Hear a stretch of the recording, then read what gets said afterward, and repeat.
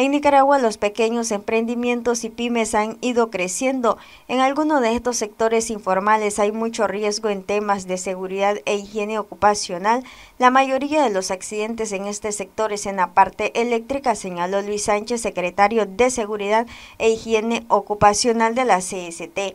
Porque alguien surge con un emprendimiento, entonces, es decir, con, algunas limitaciones, y eso eh, a veces nos obliga a que no tengamos las medidas de seguridad, por ejemplo en el sector eléctrico. Pues recientemente se nos leímos la información de, los accidentes laborales que, se suscitan eh, por la falta de prevención.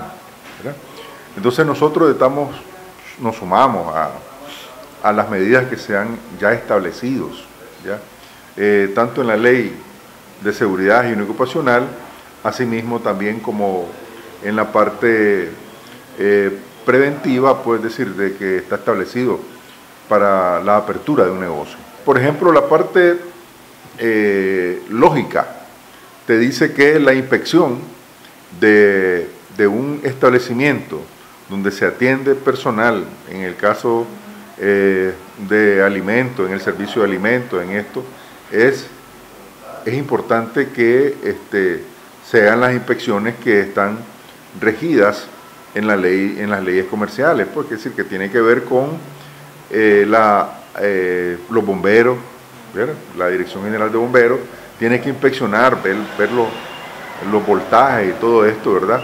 Y de igual manera el, tema de, del uso del gas, del gas butano, pues, es decir, eh, todas estas medidas, es decir, cuando se violan es que nos vemos en estos penosos casos de accidentes, es decir, cuando no se respetan esto. Sánchez explicó que existen normativas que se deben cumplir.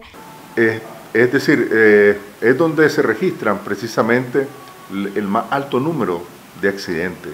Es decir, nadie quiere un accidente, evidentemente, es decir, pero, pero tenemos que prevenirlo, ¿ya?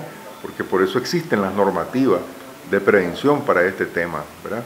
Eh, no solamente la ley 618 eh, lo registra, pues, también su reglamento y, e inclusive eh, para poder otorgar un permiso, una licencia, eh, las autoridades de la Alcaldía de Managua, las autoridades de la Dirección General de Ingresos, requieren de una inspección ocular específica para que se realice esto. Es decir, los emprendimientos tienen que ser, ir de la mano, ¿ya? con las normativas jurídicas que existen en, nuestro país. Noticias 12, Darlene Telles.